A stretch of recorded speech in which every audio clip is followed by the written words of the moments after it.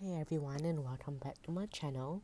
Today we are watching the second movie of Flintstones called The Flintstones in Viva Rock Vegas.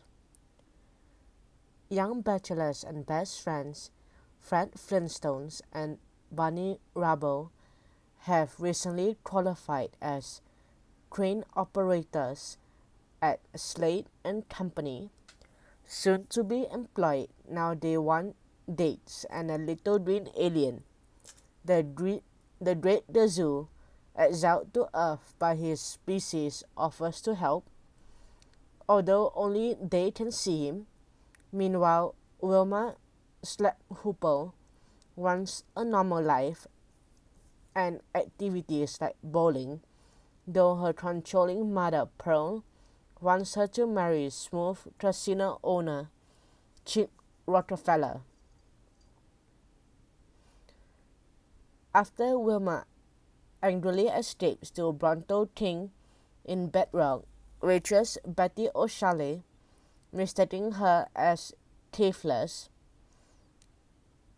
offers to share her apartment and gets her a job. Chip congratulates Fred on attracting Wilma, apologizing for mocking Fred's job and invites the group to his Rock Vegas resort as a peace offering. However, unbeknownst to the group, Chip plots to hope Fred gambles so Wilma dumps him, whereas Fred sees it as a big chance to win big, so he can impress Wilma with money like chips.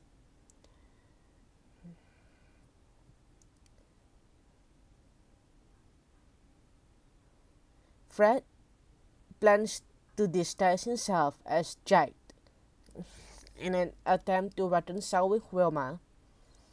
Meanwhile, the audience in the audience, Chip proposes to an unresponsive Wilma. Fred then comes on stage, disguised as Jack, and briefly sings to Wilma, apologizing for his behavior earlier before proposing to her. Knowing that she still loves Fred, Wilma as happily accepts rejecting Chip and they get married in the Rock Vegas Chapel of Love. After the pastor proclaims them husband and wife,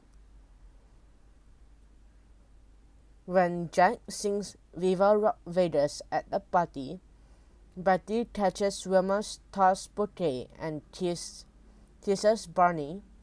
The newlyweds drive away with Dino and the to goodbye waves from their friends, family, and even a handcuffed Chip and Roxy.